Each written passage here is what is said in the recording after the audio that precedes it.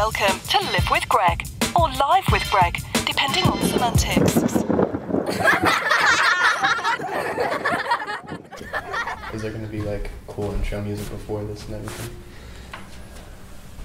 You're asking me if it's a professional podcast? No, no, no. I was wondering if there's gonna be like some cool music, like you know, like you got to like a good intro for this. Oh no, do I?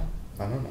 Have you seen my podcast? Not this one. I've said, I've heard of Moped Outlaws. I was just listening to it. Yeah. Oh really? Yeah. What do you think? I like it. It's a good one. I was engaged. I was listening to the episode with what's his name, Ronald. Oh yes, that, was one's one. silly. Yes, that one. I. I was enjoying that one. That was a good one. It was so funny. He like had such a, itinerary. Like he really know. wanted to get something I know, and he kept on asking y'all questions back, and I was like, I mean, this is like a, you know, it's like a good give and take, I guess. You know, whatever we're going with it. yeah, he was a funny one. Yeah, that That was was fun. I do think we do well when we have a guest, but I love Mark, so Yeah. I think we have a good repertoire. Yeah, y'all do good together Yeah. too. It's a good banter, for Yeah. sure. I agree. Yeah, Yeah. I made that opening. Hmm? I made that opening for Moped Outlaws. Oh yeah, yeah. it's a good opening. I was listening. I was like, can I just be on Apple Music or something, Spotify, wherever it's at? Yeah. Yeah, I was rocking with it. All right. Yeah, Thanks. hmm of course. All right. So this is our soft opening. We're here with another episode of Live with Greg. And I'm here with Jacob. Hey everybody, I'm Jacob, as you just said. You are Jacob. It's true. hmm Happy to be here. Fucking early in the morning. Yeah, I, I made us go bright and early, crack of dawn, but Yeah. you know, On a Saturday, no less. yeah, I'm an asshole. Yeah, well, okay, let's start with that. Let's start with that. No, like I'm, I'm, I'm happy to admit that I'm like a great asshole. All right, so what does that mean to you? Um, you know, I think a good like the best way to describe like being an asshole is like being just enough of a dick. So like you say like shitty comments, this and that, throw them out there, and like they're funny, but like they're not like so out there where people are just like shut up. You know, it's a good in between. Do you think the people that you're hanging with kind of set the tone for your edge? I think they can help with that because they give me good stuff to play off of. You know what I mean? Yeah, like if you were amongst, like if is your any of your grandparents alive? Um, one of them, but like You don't have a relationship with that no, person. not like that. Like she has dementia, so like Uh, there's yeah. I can't I can't really do a push and pull there, you know. It's just Right. like a, oh, what's going on. So yeah. so no, not with the grandparents, but like you know, there'll be a difference if like I'm in a room with like a bunch of monks or something. I can't be like an asshole there. Right. But like your son, for example. so easy be an asshole so it works. Yeah. That's cool. Yeah. Right. Do you think there's any element of that promoting a vibe in you that's like a negative thing Mhm. that you know you find yourself in your 40s and that's grown into something that you really didn't want? I've worried about that for sure. Do you? I mean, like sometimes, like I mean, I'm like I just turned 20, so like I'm thinking about I'm like I'm two decades into this shit. So where am I gonna go with it in that sense? Right. Right. If I keep on going this way by 40, will it be cool? And I, I don't know, but like I just keep on telling myself like with life in general, like I'm not a very traditional person in that sense. Like I grew up in like a very like, Jewish household and stuff. I I didn't get bar mitzvah. Like I refused. I like. I like the Jewish religion, to be clear, but no hate. but I just don't want to practice it like that. I've known since like a young age, like I'd rather like a free spirit with that. My parents don't like tattoos. My family doesn't. Here I am, like almost ten now. You know, like it's like it's those kind of things. Where I'm Well, like, you have tattoos, and that's not very Jewish. no, like, I can't be buried. But like You I can't be buried. no, you have to I be in like a. Jewish cemetery. No, they, they don't want me to burn either. But like, what am I supposed to do now? You know, You just have locked out from those pearly gates, I guess. But Put in a glass jar. maybe if that's what they like, I don't know. Do Jews have pearly gates? Oh, I don't know. See, I'm not a good Jew. I don't know. I don't think they do. I literally know about Hanukkah and like Shabbat, and that's kind of it. I'm like a really bad Jew. I'm so so, you know about the holiday where you get presents, Well, I like presents. and you Yeah. know the weekly. Hmm No, see, this is like the asshole thing I was talking about. Uh, so yeah, I, that's that's what I know about Judaism in that sense. But I thought with the tattoo thing, like my first tattoo was like a Jewish tattoo. It's a Hamsa everybody see. So I thought that would like win me some points at least. a Jewish tattoo, sort of like that, doesn't exist, right? Well, now Unless you're talking about World War II. Uh, Yeah, but see, I thought I'd like upcycle that idea, make it a bit more positive, put a good spin on it. So is that from the um, Kabbalah? See, for this, I mean, it's the Hamsa, and it's, it's in a lot of different religions and cultures, and it's, you know, warding off evil, the evil eye. But for me, I have my own story with it where I was eight. My parents took me to Israel for their 10 year anniversary since they met there. And I was at like a flea market and found this like little Hamsa, and I really liked it. Um, and I brought it everywhere with me. I made like this whole thing in my head about it, but then I lost it on the plane back. So I found a replica online, bought that one, lost it at least like 20 times in my high school experience, but I'd always find it, even if I lost it like in the city or like I just didn't know where it was. It would come back to me somehow. So I thought I'd get it as a tattoo so I never lose it. It's a good luck charm. So That's pretty smart. yeah, I'm, I'm kind of like innovative like that. All right. So, you ever talk to with your parents about the whole Israeli Palestine thing? I try to. Well, see, because like I don't. My parents are very pro-Israel on it, which is like that's that you know that's their prerogative. They're Israeli citizens, so like I get it. Like you know, like there's like a bias there.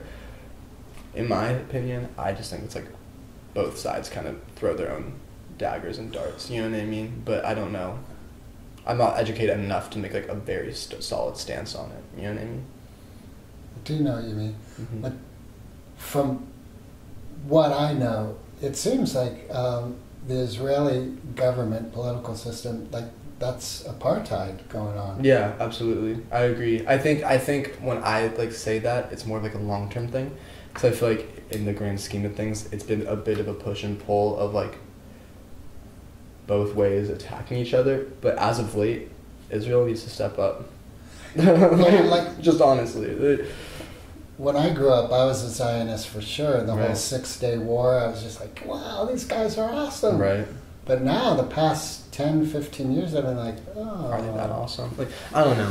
That's not even a question for me anymore. Like, just there's so many reports of the Palestinian families, you know, being just ripped out of their homes. Which is and- disgusting, Yeah. honestly, and no, nobody deserves to be treated like that Right, for any reason. right. Um, and yeah, And it does seem like overall the vibe is the people just want to live in peace yeah, for the most part, and you have these sort of elite and government factions that are creating chaos. Agreed, and and I think that the governments in general are focused too much on territories, and like this is holy land, and I understand the history of it to that extent of like why like that land is important to them. However, I think it's time that we adapt our mindsets into thinking you know land doesn't equate holiness, inner peace and love and spreading that is holiness, and anywhere can be holy land if you provide it with it.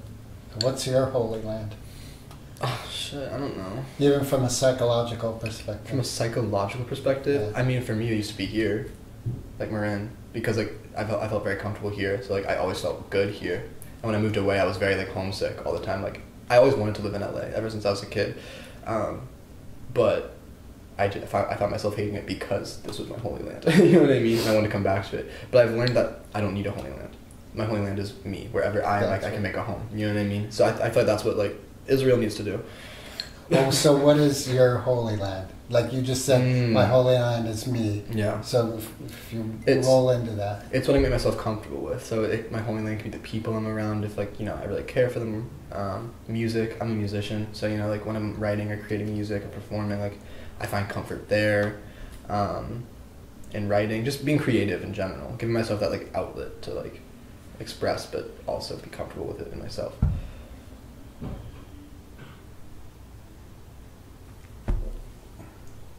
so music. What kind of music do you like creating?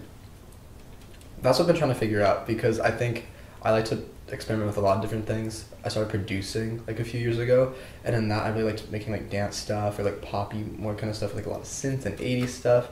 But when I'm like writing without that, I make like very like acoustic, like alternative, maybe rock, maybe pop tracks. Um, and I've released one song. Um, On Burn. Spotify? Yeah, on all streaming platforms. Burn. You can check it out if you guys would like. Um, What would you release it under? I released under my name, just Jacob Ben Shmuel. Okay. Um, but I feel like I should get a stage name. I don't know. I don't know what it would be because I feel pretty good in my own name as it is. Yeah. But I don't know if Jacob Ben Shmuel is the most catchy name. But does that matter? Jacob the Mensch. That's something. That's something. The mensch. the mensch. It has a ring to it.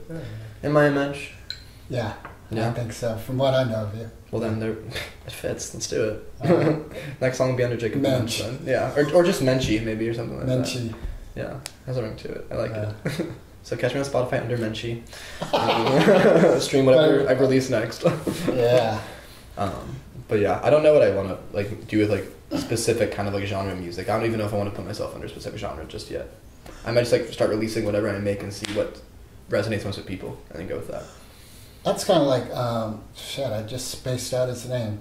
The guy who did, you know, I'm a loser, baby. So, come on. Damn it. I'm getting old. And Vultures, um, Jonah, God.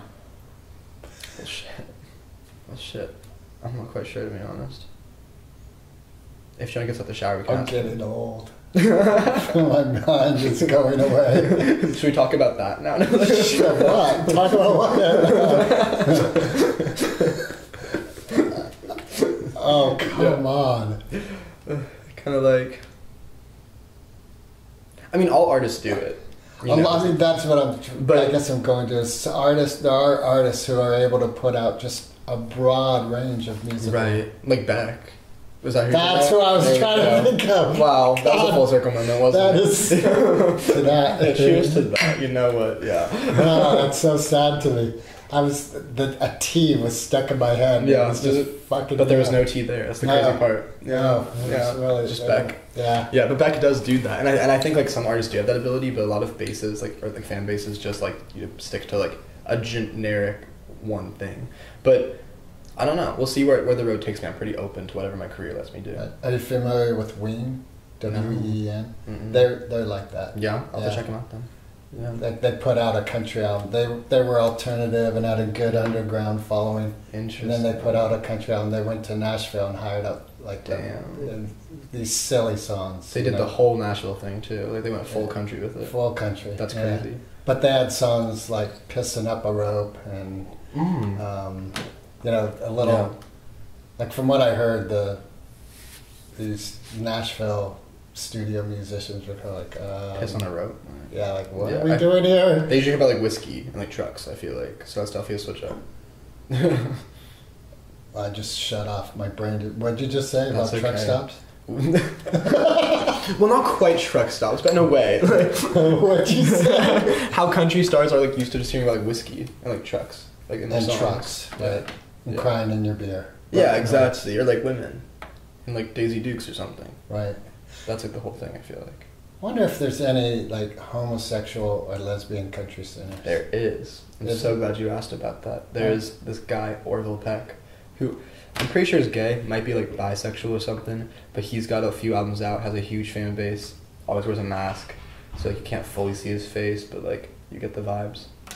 So there is. I'm sure there's a lesbian. And one. he, and he sings about like his heart being broken by some dude. Well, he's the heartbreaker. Ah, But yes. All right. So that's his whole like shtick. So it's kind of like, uh, God, I'm not gonna. It's too early for me. I can't do these early things. Yeah, I guess I guess uh, that's what we're learning here, and I'm, Yeah. am s- I apologize to the audience, I guess. For this.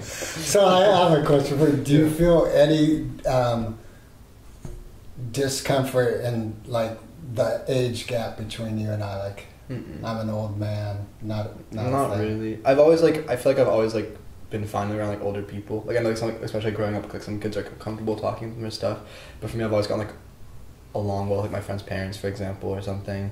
And my parents are pretty like chill and open with me, so I've always just been able to have like more of like that kind of relationship with my parents, which I think helps out.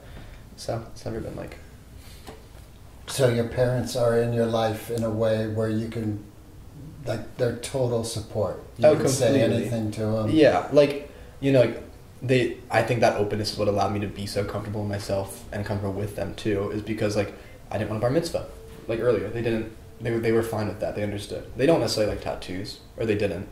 And now I have tattoos, and they're more understanding about it. Or like you know, like I smoke weed. They they understand that. They like they're, they're open to it. You know what I mean? And and vice vice versa. You know, my parents aren't the most like orthodox or conventional people by like American standards at all. So it's just All right, so you're 20. yeah. How long have you been smoking weed for? Since I turned 18. I did it medically at first, and now it's medically and recreational. So I do both. For back spasm? Yeah, I have like super bad neck problems, so I get really chronic migraines and stuff. Um, but on top of that, I'm trying to think of like what else. I have anxiety, so when the meds weren't working for a bit, I was like, let's just smoke some weed. I think that'll help out, and it did. So it worked. Do you still have anxiety? Not nearly as much. I mean, if I still had anxiety, I would have said no to this. You know what I mean? Like I, I was a very anxious person. Like I, I could not walk to school or be out alone in public at all. Like it was very debilitating. But I worked through it you know, through years and years of therapy. yeah, but it, it's helped a lot. So, do you feel comfortable delving into that a bit? Yeah, absolutely. Uh, Yeah. So, what did you find was like the root of your anxiety? Uh, that's a good question. I think the root of anxiety was myself, honestly. Like, like I, I am, I'm the creator of it in that sense, and that's what I had to learn is like stop myself before I create that process because I'm just very comfortable with um, negating my feelings, putting myself down, kind of isolating myself. That's my go-to for security in a sense. And so for me, it's just constantly reminding myself to break out of that shell, say yes instead of no, those kind of things, and, and remind myself like I put a lot of weight and value into how others perceive me, and so I and or at least I used to. I wouldn't say I do too much anymore. I think for myself, it's I, I do this for myself because I myself enjoy it, and if other people have a problem with that, that's their problem, and I just have to remind myself of that, and I think that's been a huge part of my moving forward. So, what do you think was at the root of being in that place Mm. of Yeah. self-deprecation and, in essence, being hard on yourself, right? You're yeah. not- I mean, to be honest, I don't know. Like, in the one sense, I can answer that by saying like I've always been a perfectionist, and I think my, my, my aim to be either have myself be perfect or my work be perfect. Had I, I gave myself criticism because of that, and I started from there. But to be honest, I, all, all I know is ever since I was a little kid, like I've been anxious in situations where that doesn't even apply. Like, you know, I couldn't go to bed without like the lights being on or somebody being in my room. Like I said, you know, I, like I couldn't be in public or even uh, in private alone at times. So like I always had to be surrounded by people and like I'd always have to be busy. So, like Lady Gaga says, you were born this way. Yeah, I really was. You came to this planet with that. Yeah, for real. And that's part of my baggage and I just kind of work with it, you know? That's what you have to do. So, do you think it's still there, but you've learned the tools to work with it, as you say? Yes, Do you, yes. do you think there's a potential of healing it where it's no longer a part of your life? See, again, I don't know, but I, I I'd like to think, I'd like to think that you can heal anxiety like that, and like it, it could be like a one hundred percent cured thing. At the same time, though, like humans are creatures of habit, so I feel like it's so easy for us to go back into those like repetitive cycles. But in my opinion, for now, what I believe is that it's going to be a constant in my life that I can constantly work better with, and it's about working with it, not against it. Um, but that's like subject to change. Maybe in like five years, I'll be completely healed and it'll be like a different perspective. But that's where I'm at now with it.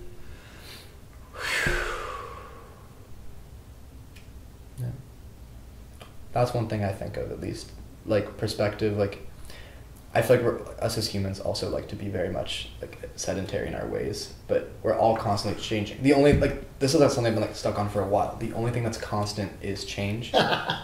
so re- re- if you're gonna rely on anything, it should be the fact that you can't rely on anything. In that sense. So, from a spiritual perspective, Mhm. do you have something in your thought process that's like, well, there is a consistent positive X? Like, you know, like I hear what you're saying, like, you Yeah. can't rely on anything, uh, everything changes, right? Right. Right. But there's the potential of despair in that Mm-hmm. because, like, yeah. you can't Right. rely on anything sort of a negative. Right. That could definitely become a negative thing. Right. So, do you have an X factor in your process that is like a divine infinite? You know. I wish I did, but no. But I also don't look at it as despair. That thing, I think at first I did because hearing that's like, ugh, like what? Because because like, that's that's gross. Because like we like like I said like we like to have like things put in place. Like, we, we're people have habits of routine and stuff. You know, it's what, like what we're raised on. But I don't see it as despair because, in my opinion, like not relying on anything doesn't have to be a bad thing. In that sense. Like it, it's it's it's all about outlook. I feel like in that sense because like if the only thing I'm relying on is that things are going to change, well then if I just go with it, there's no problem. You know what I mean? Like you know, the pandemic happened. None of us really wanted that. That's kind of that's really shitty, isn't it? But like the change that came within the growth that comes with it, you just got to move with that. You got to move with whatever you got to do to help yourself and others. So how does will play into that? Like your will, your, How does will play into you that? know, yeah. Interesting. Because like as a creator, Yeah. you um, are creating things, right? There's an element of will involved Yeah. in that. So going with the flow in a passive manner isn't going to create things. No, it won't. I think it'll help guide you, but I don't think it'll help take action. So I think with will, in that sense, taking initiative. I don't know. I don't know. I think I think there's change that you can passively go with, and then there's change that you can act on. You know what I mean? It's like I'm not sure how to provide an example for that in that sense, but like yeah, how would you differentiate? how would you differentiate the two? I feel like, for example, let's say like I was like trying to write a song and I was like having super bad writer's block or something. I could passively kind of just like move around and like do other stuff with my day, right?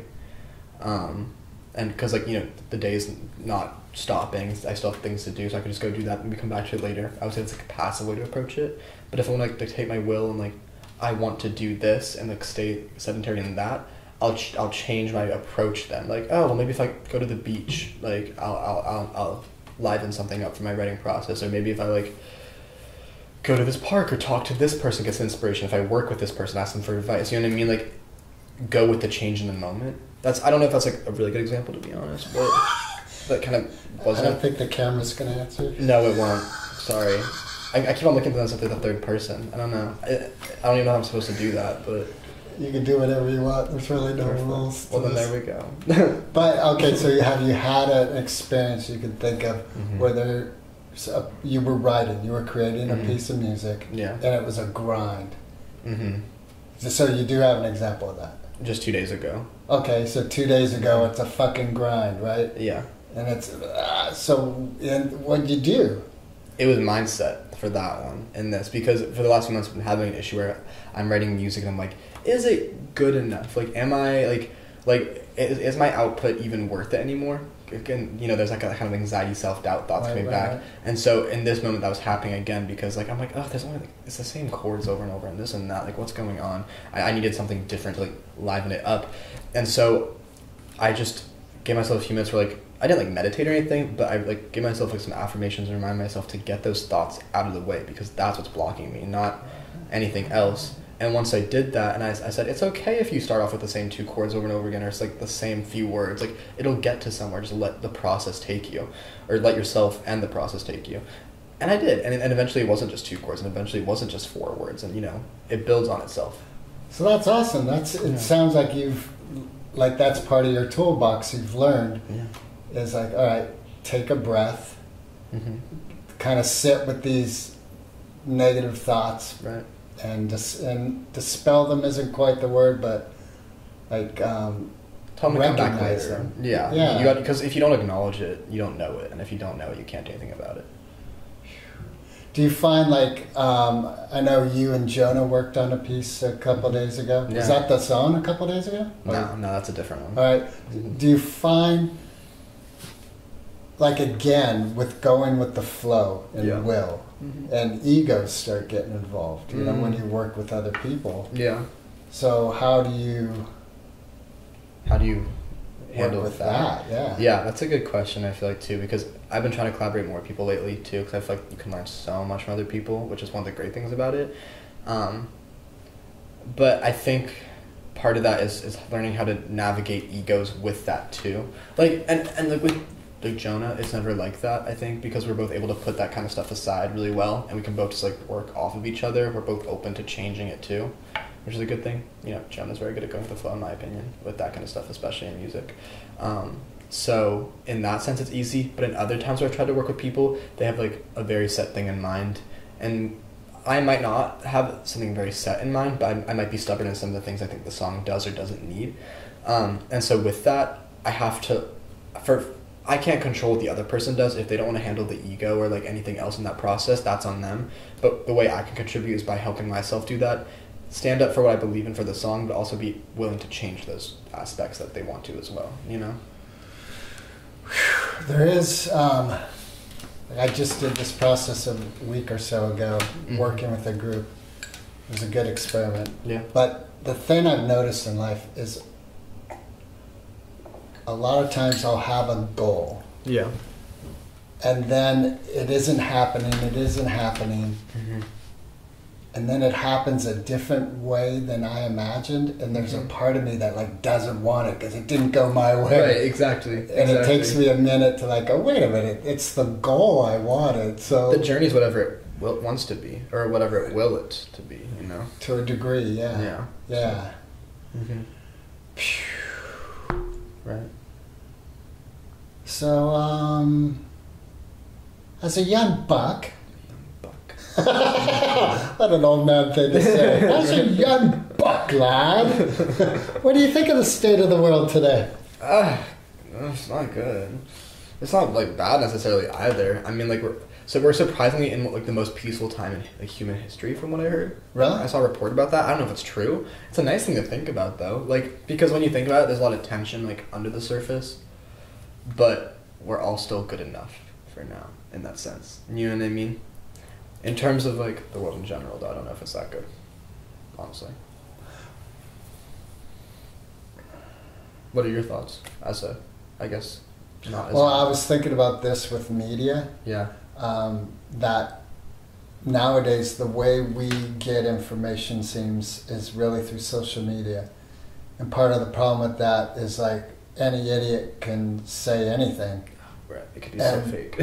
and there's a whole lot of people that'll just jump on the bus. hmm Um, whereas before, with newspapers and television, you had reporters, and their Pretty set. like investigative reporting was their job. Is to like, you know, you say to me, "Yeah, Whitaker's upscale." Well, I would go to Whitaker. Is it really upscale? You know? Yeah, I don't know. You're just basing off of what I told you. And what, Right, that's what I that- mean, that true right. not? Who knows? Like, So the state of the world, because there is this thing with um, the whole gun thing that's going on in our Mhm. country right now. It's pretty uh, it's pretty gnarly. insane. Yeah. Yeah. Yeah. And there was um, something about like this kid that just shot the you know the July Oh, Fourth thing. Yeah, in at the Highland Park. Right. Yeah, yeah. No, no, and um, Oh, the one in no, no, that was it. Yes, Yeah. Highland Park. Yes, Mhm. correct. And something about like how come I forget what it was, but something like you and you know he can't get a he can't go into a bar and get a drink, but he can go into a store and get, And get a gun. But not I got like a bunch of guns and The guns. Like, Yeah, but and they can't rounds. call guns. They're just. yeah. So there does seem to be an element of um, chaos. Like I don't Mhm. understand the logic of our leaders. That Yeah. Yeah, I don't know if I quite understand it either. I think it comes, you know, it's a lot of personal gain that's affecting public politics. And I think that's like a big problem here on both sides. To be clear, like I, I'm, I'm a registered like, I, I don't, I'm, I'm not registered to Democrats or Republicans because like, typically I'm very like liberal leaning. That's just where I'm at. You know, um, I'm open to anything, but I'm, I'm very liberal leaning. But like in terms of where I want to vote, it's it's not in either party because I feel like both parties are fueled by cash inflow and seats in a house as opposed to rights of a person. And so I'll vote where not where the money doesn't talk, but I'll vote where people do. Yeah. So you do vote, Yeah, absolutely. It's so important to vote. Everybody should vote. and what does that mean? You'll vote where people talk, but money doesn't.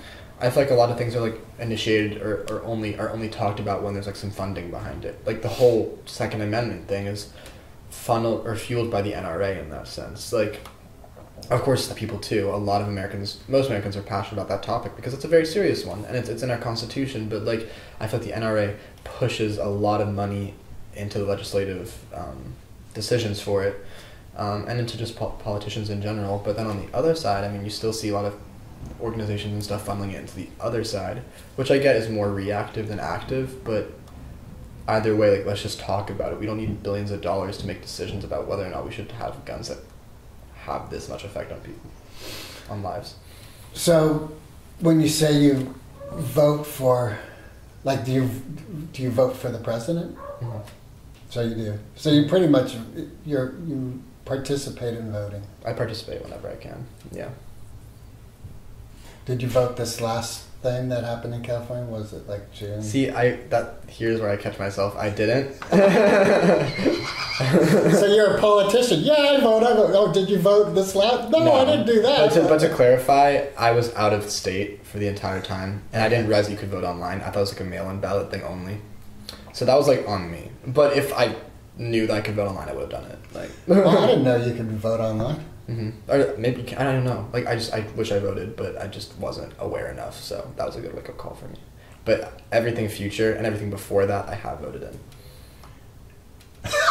I You just happened to call out the one time. No, I for real. Like I thought this was a setup right now. Like what's going on? Cut the cameras. No, We're done. We're done. I'm walking out. I know another uh, red-headed man who. I don't. Uh, we suck. We suck. You ever get teased about being a ginger? oh my god, that was my entire childhood. Maybe that's part of the anxiety. Maybe no. But I remember. I well, see, I grew up in Santa Fe. Like I was there until I was eleven in New Mexico, Yeah. and I was one of like very few blonde or strawberry blonde at the time. I wasn't like really ginger back then, but the blue eyes, pale skin. So everybody was always like, ah, your complexion, I love it, and like. I was like kind of like hot shit. So I was like, okay, cool, like this is fine. And then I moved here, and everybody's like, haha, ginger, you look like Ed Sheeran.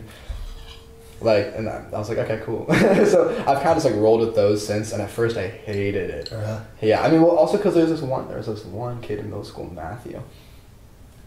we're calling you out, man. If you're watching Matthew, get fucked. Um, you're the D. yeah, you're the D. He'd always call me Gingy and like try and make fun of me, and like it was definitely trying to bully me. Right. But eventually, I should learn from middle school me. I was onto something. I was just like, whatever. Like, I will take that name of pride. And then my nickname became Gingy amongst all my friends. But it was like my thing. It wasn't Right. like I reclaimed it, I guess, you know? So Right. after that, it didn't really bug me that much. It's just part of who I am. I have ginger hair. Cool. I'm, I'm, I look like a Sheeran, apparently. Did Matthew was he part of high school? Like, did you guys ever cross paths? No, it's just I mean after, after well, see, I kind of like did, I did a bit of a clean sweep with a lot of my friends after middle school because a lot of them wanted to, wanted to say I was social climbing or something like that after, from what I heard. But the truth was, I wasn't happy in any of those friendships because I wasn't being myself and I wasn't pushing myself as much as I wanted to. So I had to like cleanse myself and like find new friends that would push me the way I wanted to be pushed. Awesome. Yeah. So And now you have that. yeah, absolutely, and I've been friends with them since. And hanging outside. Where are you I'm not gonna go gonna with go this there. No, no, no. Please do. Please do. You guys smoke so fucking much. man. yeah. No, I know. I never used to like that too. I think here's here's what I will say. I, I worry that I started that. I really do. And I look and like I was just talking to Liam about this like two days ago. Where it's like they just smoke and play Smash all the time, and I'm like, no, I know. Like, I was like, shit. like let's like let's do something. Like I'm forcing us to go to a flea market tomorrow in Pacifica. Cause I'm like let's like. I want to get out there. I like to get out there. When I'm in Whittier, I do that more because you can't really smoke on campus as much. You know what I mean? But it's fun. I, I like. I don't want to be that person who just smokes and is like sedentary with it. I feel like there's so much potential when you smoke to like activate it a bit more. So like, if I can smoke and like, let's go to the beach and do that, or like, let's go to the city and just check something out. Like that's what's more engaging. But you, you're not going to drive high. Don't do that. Um, so you got to you got to set it up appropriately. So I. Right. Well, there's Uber. Yeah, true. But do we have the money for Uber? No, we're college kids are not. Or at least I don't. I don't know. Come on, Um, you're Marin County White College. I, I know, but I want these bitches to do it, not me. but yeah, we, we, we do smoke a lot out there, and you know, I definitely want to cut back on the amount because I think there's a healthy amount and an, an unhealthy amount. And for me personally, physically and mentally, it's an unhealthy amount. One thing I'll say, because um, at this stage in my life, Yeah. one, there's friends of mine who are falling off, Right. and so it's like it catches up. Right. And there is like this one, Mark, my partner in Moped Outlaws. Yeah, yeah. He quit about five years ago. Smoking weed? Or, yeah, Okay. and he loved it. It was like Right. something he just loved doing. Right. And um, he he mentioned just a couple weeks ago that he believes the emotional growth he's had in his life the past five years Yeah. would not have happened if he was still getting high. I believe it. I do. I think being like, I, I think you know, it's you build relationships with a lot with everything in that sense. Like, there's a relationship here. I have a relationship with caffeine. I have a relationship with weed, and it's important to build boundaries with those. And if, if those boundaries get broken, or if you don't have those boundaries set like set in stone, it can get really wishy washy. And so for me, when I first started smoking, in that first year, it wasn't the amount I do now. Um, and I found it to be very beneficial for my for me mentally and physically. You know, like I did use it medically at first for mental and physical reasons, but in ways I didn't even expect. Like my, my, my creativity, I, I found a new way to express it. There was there was just a lot of stuff I wasn't expecting from it. But after a certain point, it kind of just became my comfort, where where the, where being high was being comfortable, and I was comfortable with just being comfortable and nothing else. And that's when I realized I need to reestablish my relationship with it. And I've reestablished my relationship with it enough, but I haven't created those boundaries enough. And that's my next step. Okay, so earlier Yeah. you talked about um, going with the flow, Yeah. Which is really without boundaries in a sense. Mm-hmm. So, how do you find the balance Mhm. of boundary and going with the flow? That's I think my lifelong dilemma, honestly. No, for real, because like I, I'm I'm a very much like work hard, play hard person. Like, that's like my, my my thing, I don't like to like rest at all in that sense, and I constantly burn out because of it. And it's the same thing with like weed, or it's the same thing with all of this. Where like, if I'm into something, I'm super into it, and it's all or nothing. And so I'm constantly trying to find balance with everything in my life because of that. Um, so I don't know. I really don't know with that, but I, I think you go with the flow with um, qualms for yourself. Qualms? Was that the right word to use? Even I don't know. You go with the flow with qualms. For I think qualms is like a doubting, right? Oh well, then no, it's not even at all. Like go with the flow, but like you still have like boundaries for yourself. You still you still have. you like, have your morals and your You- and- laws. But but but allow them to be subject to change if you want. You know what I mean? And that's where the go with the flow thing comes in. You can you can have your values. You you can be stubborn in, in, in a mindset if you want to. But be stubborn to an extent to where you can be like, okay, well, I'm still open to this and that or something. You know what I mean? You find what works for you at a, at a time, and then you go with that until it doesn't work anymore. Alright, so when you're 40, what would you like to, where, what would you Where like, like to be? yeah, what would you like your life to look like? That's a good question. See, I used to have this really clear idea in my head as a kid of what I wanted. I've always been like very driven. I want to be like a, like a pop star, and I want to be like a producer behind the scenes. By the time I'm forty, I'll be having four houses all across the world, and I'll be like touring and be a household name. I don't really care about that anymore, and I, and, I, and I'm way more open to what my life will be like in twenty years than I would have been ten years ago. Um, I would like to be in the music industry. I would like to work, whether it's as a musician, performer, songwriter, producer, manager, whatever. I want to, I want to, I want to be a part of that and participate. Um, I want to be a business owner. Maybe have a few businesses, be successful with them, have them help people. I want to be charitable. I want to be happy with where I live, with who I, who I have in my life. It's just the basic needs. How I get there, what it ends up being, we'll see. So what are you studying in school now? I'm double majoring in business and digital music production. Alright. Yeah.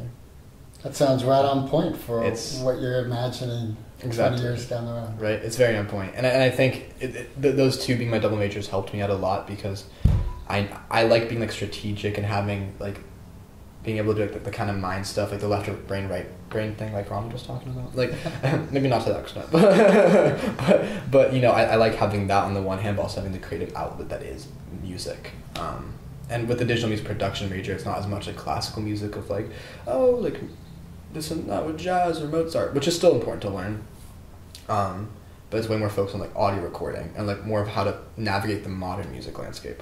So I like it a lot. So what is navigating the modern music landscape? The industry is constantly changing too. Um, and a lot more than it has.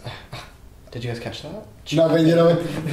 YouTube right now is doing an uh, honorarium to the billion view videos. Oh, are they? Yeah. Yeah, and it's it's all pretty much music videos. Right. Music has an impact. And it is interesting to see like the artists who are up in that realm. Yeah, who get the billion views and, and the impact that those artists have on the world is Yeah. pretty crazy. Like Katy Perry has three or four videos. Wow. Yeah. cra- I did, Katy Perry of all people, I wouldn't have expected it. But Right. That's what I was. right. Yeah. But she's done a lot of her career when you think about it. I yeah. mean, that's what. It, it kind of put to me that perspective because she had that film come out. There's Yeah. like she's had this vibe for a long time that I didn't pay too much attention to. Like I like yeah, her music. she's like a pop star. But it's Yeah. like she's she's done a lot. She's had that movie. She's a judge in American Idol now. She like does all this crazy stuff, and I was like, right. she's a mom. She's you know like Right. she there's there's all these different aspects of her and what she puts out. People listen to. Yeah. Um, but I think the cycle of rotation is changing a lot in the music industry. You know, like clearly we've changed formats now from like going from CDs or anything Right. to streaming. And streaming Right. was a huge evolution in music. It changed the way that artists are paid and monetized. It changed the way royalties work for artists. It changed musicians' relationships with the record labels. It, it took the power away a bit, but it kind of reestablished what a label's looking for in an artist. So like overall the industry has changed a lot in the 10 year in the last 10 years and with tiktok and social media it's only going to change even more so that's what i like about this current major i'm taking is like i'm learning about the production which will be used in real time and i'm also learning about the business aspect of music and how that industry works how it's tough and how you got to like really fend for yourself because it's all about capitalizing on creativity and that's a very difficult thing to do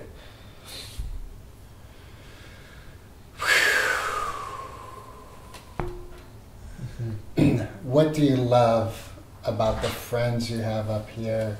Up here about my Marin friends. Yeah, like you know, you guys are tight from Very what I tight. see. Yeah, I mean, I think that's what I love most about us. We're family. Like, I I come from like, I have like a good amount of family on both sides, but I've never lived near them. You know, I lived in New Mexico and California for most of my life, and my closest family members are in uh, New York City. And the last time I even went up to New York City was when I was 11, so I haven't seen that my dad's side in 10 years. I met my mom's side and only a few of those members for the first time when I was a senior in high school. So for me, family has very much been just what's around me, and so that's my parents a lot. Um, you know, I have a very close relationship with them. But friends for me kind of count as family once it gets to a certain point, and the ones that are up here that, that like that is family for me. So Have you found that you've been able to create new family down in LA? it's getting there. Cool. I, I don't want to force anything and call something family that like may not be in a few years. Like these people like that I hang out with up here, like I know like at least my goal is to be in their lives in some capacity forever and vice versa. You know, like like those relationships mean a lot to me. But like in terms of the people down there, I have very good friends and I'm very grateful for them and I've made great memories in the last year with them. Um, but I think I, it needs more time before we can classify that. But I have my new my newfound groove there for sure. Yeah, cool. Yeah, it's fun. It's fun, and it's it's crazy too because you know, Whittier is only a six-hour drive from up here, so I, most of my Whittier friends have met most of my Marin friends. Excuse the interruption. um, but most of them have met each other now, so it's, it's, it's been a very I've seen like the mix of the two worlds, and both sides approve of each other, so it's always a good sign in my head. Have the two mixed? Like have, Yeah. yeah. Because um, four or five of our friends from Whittier came up for winter break last year for like a whole week. And not that a lot of us were here, but Jonah met them, Brady met them, a good, a good few of us. So like that was cool. Um, and then a bunch of us, like twelve of us from Whittier, got a house in Daly City for spring break. So a bunch of people who are up here met them too, again. Um, and every time it's been great. So Cool. yeah, that's cool. That's cool. Maybe you're just a good conduit for good vibes. That's what I try to be. I don't know. Hopefully that that translates, but good vibes only, everybody. yeah. I think an important part to that too is just like knowing when and when to step in or out of things. You know what I mean? Like to a certain extent, like I was very like I, I can experience FOMO a lot. So like when I'm not up here the entire summer, I can get FOMO for sure. Um, What's FOMO? fear of missing out. Okay. Um, but I definitely have learned when to step in and out of that too. You know what I mean? Um, so like I, you know, I think me like a few years ago I've been very upset to only have been up in Marin for three weeks for the summer. So I'm like, there's a whole this summer I'm missing out, hanging out with my friends and stuff. Like what the hell? But I think now I'm like at a point where I'm like, oh well, that's three great weeks I get to have with people, and the rest of the time I get to work on me or do whatever I want to do in Redondo. You know? Right. That's kind of like going with the flow. Yeah. Exactly. The flow is three weeks up here and the rest down there. Exactly. And you know, this summer I've had a great summer up here and not up here. You know what I mean? I, I've traveled a lot this summer too, so that has been a great thing. Yeah, that's nice. Mm-hmm. I mean, that COVID, everyone knows. I know. Call me super spreader. um, that's a joke. Get off his down. back. Don't cancel me, I swear. Um, No. Is there anything that keeps you awake? Like, is there is there anything that's like a nightmare in your life right now? I'm very blessed to say no. Awesome. There's been times in my life where all I can do is stay up and think, and there's nothing in particular. It's just constants or events that happen at the time that really make me twist and turn. Money used to be a huge thing for me about that. I've never been the most well off. Um, I used to think I was, and then that illusion for me shattered, and that was a huge wake up call in that sense. Um, and in general, just like you know, the, the the kind of physical things have definitely like affected me in the past, but like at this point in my life, no, not nothing, nothing That's gets to me like that. Yeah. Is there anything that you just have like this electric positive vibe about? Yeah, I mean, I would say music in that sense. Yeah. That's the one constant that I do. But I love nature. I've I've learned to love getting to know people. I used to hate that stuff. I was not the biggest fan of like mingling and stuff like that, being extroverted. But I very much enjoy that process now. Right on. Yeah. So. Do you think that's part of the, an outcome of part of the work you've been doing over the past few years? Mm-hmm. Definitely, definitely. You know, like I, I look at myself now and I don't even recognize who I was. Like even three years ago, or definitely five years ago. Which which is fair. I was like fifteen. But that's a different. Like you know that this is where you're supposed to grow the most. I feel like, or where you're allowed to grow the most. Um, but in general, even like regardless of that, like just in terms of mental health and anxiety and like my, my myself and moving in the world, one hundred percent growth across, and I'm very proud of it. Yeah, you should be. Thank you. Welcome. Is there anything that you want to touch upon that? I'm trying to think. I think we've got some pretty good stuff here. Like there was like a lot of bases that were covered. I wasn't expecting all that. I'm trying to think. I don't know. Ask, I'm, I'm gonna ask that question back to you. Anything that keeps you up at night? No. I'd say that I, um, dark areas are romance. Like I think the um, in me, Yeah. the relationship with Jonah's mom, Mm-hmm. my ex. Yeah. There's an element of still healing for me to do. Yeah. And what I love Mm-hmm. like part of the work I've done the past few years is let's say I'm fucking angry right now and in my mind is this tape like fucking Jacob, you know, he was five minutes late. God Right. has nothing to do with you. Right. That anger's in me. Mm-hmm. That's my emotion. Mm-hmm. So to breathe into, like you were saying um, earlier about how you were grinding on that song, Yeah. you took a breath and you're like, all right, wait a minute, like I'm, you know, this is going on. Okay, it's the same thing. Like to be able to breathe and go, like, all right, I'm fucking angry. This is like sideswipe, you know, like what's really going on? Why Mhm. am I angry? What thought process is being challenged? And even individuals in my life where I'm challenged by them. Right. In my best self, I welcome it because it's bringing up my shadow. It's bringing up the parts of me I want to heal. Right. Exactly. It's it's forcing you to, to, to interact with it and, Right. and kind of challenge yourself on that. Right, and the Important. key is to not dump it on someone else. Mm-hmm. Projection. to right to hold it as my own and even so the whole romantic thing because also Yeah. there's um, a person who just contacted me a few weeks ago and we used to date in my 20s Mm. and um, and like talking with her, I was totally jacked. And the next day, I had all this energy. I was like, "What the hell?" Right. Like, what's going on? Right, Yeah. and there's this so like part of me is like I want to tap into that and not have it hinged on something outside of myself mm-hmm. because it's there, right? It's there in you. Right. Right. Right. But then there's that whole romantic thing of another and the partnership And, and how that can elevate it for yourself. And right. I think in romance, there's like an important distinction between like dependence in a relationship and interdependence. Abs- Yes. Okay. So, because by interdependence, I think what you're saying mm-hmm. is the partnership. Yeah, yeah.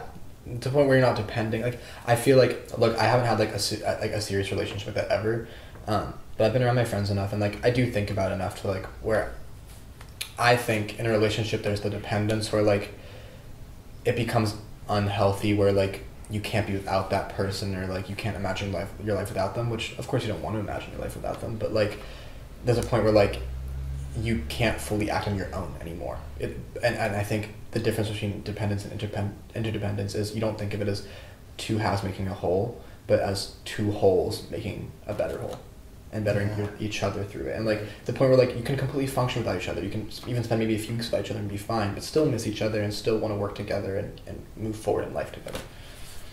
And for me, I find that challenging right now Mhm, yeah. because I so want to. Um, what, what's the word I'm working for? Like mesh with Mhm. someone. Right. But what you just said, I recognize there's an unhealthy aspect to that. Yeah, and it's it's that thing that we were talking about earlier, like building boundaries in relationships in that sense. And like I think every relationship, no matter how close you are, th- th- there's there's your own personal boundaries that, that should play part in that. But I think part well, I think part of with romantic relationship Yeah. is that it is going to bring up the challenge and Yeah. a very peak experience. Like I imagine if you spoke with your parents, hmm that they would tell you, yeah, there's been some times that were bloody hell. Oh yeah, I've seen them. You know what I mean? Like it's, and and I think it's different 'cause, like I can't speak for it for myself in that sense. You know what I mean? I had an experience when I was producing Baja Yeah. that um, we were down in Loretto, which Yeah. is midway down Baja, Mexico, right? Mhm. Right. Right. A flight comes in once a week. Wow. We okay. just landed. I had no idea where we, I was going to sleep. Mhm. Um, there was a whole bunch of shit going on. I wanted to quit. Mhm. It wasn't an option. There was nowhere for me to go. Right. That option's off the table. Wow. So then I was like, okay, so now what? Mm-hmm. I think if in like marriage and partnership, if that is the way that both people are in it, like divorce isn't an option. Yeah. So now what? Mm, so divorce is an option now because I think people find the easy way out in that. You know, Right. like, the It's- divorce rate in the U.S. is fifty percent and California is seventy percent, which is huge. That's fucking huge. I did not know that. Right. Really? It's insane. It's Wow. I'm sure it's only gone up more. That that's like from like seven years ago. Wow. Yeah, which is which is crazy, but also at the same time, I don't know. I, for me, marriage is not an important thing. Like I don't need to get married to the person I love because I think what marriage should be for a lot of people in that sense is it's taking it from like a relationship to like An institute. an institute, an institute, and and I, and I respect that aspect of marriage. Um, I understand it's like for like there's like marriage can be for financial reasons too and Right. stuff and all that, and prenups and whatever. Right. But um, in terms of just like the relationship itself, like it, it becomes an institution where you guys want to work through life together, and that is a commitment you make, and that commitment is what I find important about it. Right. And if you want to step out of that commitment, that easy, maybe it's not as much of a commitment as you thought, and, it's just the idea of the commitment that you liked. right. And then I think actually walking and acting through that is a whole other process that nobody knows how to do, and that's okay. But like, part of that is accepting the hardest challenges with it. Yeah, this is a trick because that just brings up part of like with everything in life. If you take the easy option out, Mhm. which isn't supporting your main goal, and again for me, like physical working out, Yeah. um, I'm slacking on it right now. Right. And part of it is that like slipping back and oh, I just want to lie. Chill. The comfort. The Yes. comfort. But you gotta you gotta find comfort in the discomfort. Like I used to hate working out. Like as, in my childhood, I was like, never could never be me. But now look at my, look at myself and like in like the end of high school and beginning of college especially, I was like in a gym rat era where and I and I still like do go to the gym like six times a week and stuff if I can. Like I, I'm very consistent with it, but it's because I found comfort in that discomfort of going to the gym, Yeah. and now I like pushing myself in that aspect. You know what I mean? Yeah. So, Yeah. God damn it, Jacob. God damn. God damn it, Greg. Good stuff. Yeah, All right, so what do you wish for your friends? For my friends, Yeah. just for them to be happy with where they're at, wherever that may be for themselves, whether they're in Boulder or here or across the country or Tucson or wherever the fuck they are. Like, just have fun and make it for yourself. You know, just I don't know. I I, I understand people with their goals and like we don't always reach our goals, which I think is a very scary thing. But regardless of that, to just be content in the present with where you are, just that's what people deserve. What do you think's scary about not reaching a goal? because we put so much weight in ourselves and we, we put ourselves into those goals like for example like if, if i don't end up becoming like really successful in my music career that'd be a scary thing for myself and, and that's something that I, I will have to come to terms with if that happens which i'm hoping it never does So you're looking at 40 year old Jacob, 40-year-old in a Jacob- 7 Eleven yeah behind the if, counter. if, if, if, if i'm at the 7-eleven right down the street and I'm, and I'm there singing with a banjo or something thinking this is peak music career for me right now and, and that's where i'm at That'd be Like, sad. That That'd suck. Shit. But, you know, I would have to look at it and just be happy with where I'm at the present. I'm outside of a great store that has so many things. And I have a banjo in my hand and I'm singing. And if that's making me happy, that's making me happy. Of course, that's not where I want to end up being. I wouldn't want any of my friends to end up there either. But I have to find happiness in that presence. And I think the spark of life is where that's not the end all. Like mm-hmm. being in a mindset where that's not the end all. Like, so what could you do? Like maybe you're going to be a vagabond, you know, like living out of a van and you tro- go through the country playing music and hanging out with people. And see, if that happens, I'll see that as successful because I'm doing it and I'm happy. I'm getting these great experiences, and like, and that's the thing. That that's the thing about change too. The, like, not to bring everything back to that, but the only consistent thing is change. So go with it and have fun with whatever that may bring to you, whatever goals may come out of that. Your goal can be completed in ways that you don't think could be. You know, like if my- if my goal is to be successful in music, that's generic. How can I be successful in music? There's so many ways. yeah. So So it kind of like sounds like we're both in agreement that happiness is a choice. It's absolutely a choice, and and I, and I, and I think it's it's hard to see it that way a lot of times. You know, like if, if I was way more mentally ill right now than I am, I wouldn't be on my high horse saying this shit as comfortably as I am. you know what I mean? I don't. I think it's very hard to when you're in that space. But happiness, to an extent, is a choice. That's our signal. Yeah. We're done. All right. Well, cheers. Cheers to that. Thanks, everybody.